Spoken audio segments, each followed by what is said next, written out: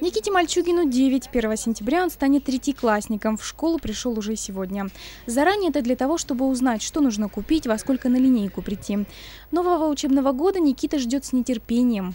Я хочу в школу, особенно на математику, на чтение и на русский язык. У меня нет причины на русский язык, просто мне охота. Однако первосентябрьская линейка в этой школе пока под вопросом. 19-ю до сих пор не приняли пожарные инспекторы. Причина – ремонт спортзала. Закончить его должны были еще накануне, однако сейчас здесь все, как в известной басне. Приемку школы решили перенести на более поздний срок. Об этом попросила администрация учебного заведения. По всем мыслимым и немыслимым подсчетам строители уже давно должны были справиться. Причину, по которой они не смогли завершить ремонт в срок, подрядчики не называют. Между тем, оценить готовность и безопасность помещений в данных условиях сложно.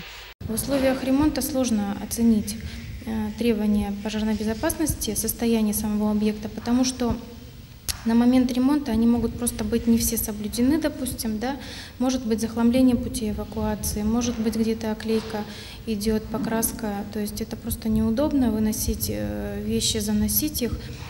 Ну и в принципе вот поэтому так и получилось. Накануне стало известно, две школы Череповца не готовы к приему детей 1 сентября, в том числе 14 -е. Меня из-за ремонта кровли протек битум на третий этаж, поэтому в эту школу в ближайшее время тоже отправятся проверяющие из Роспотребнадзора. Сегодня экзамен держала 19-я школа. Тянуть с приемкой дальше уже нельзя.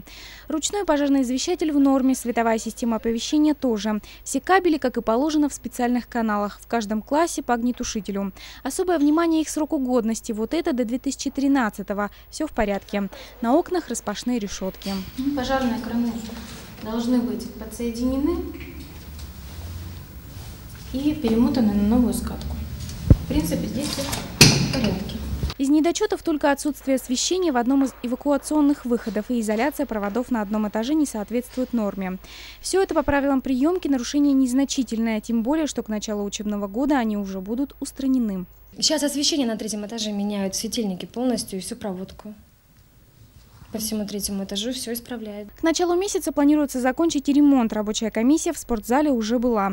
Сейчас строители устраняют недочеты. Ориентировочная официальная приемка зала состоится уже в понедельник. А вот саму школу пожарный инспектор приняла уже сегодня. Это значит, что 1 сентября здесь прозвенит первый в этом учебном году звонок.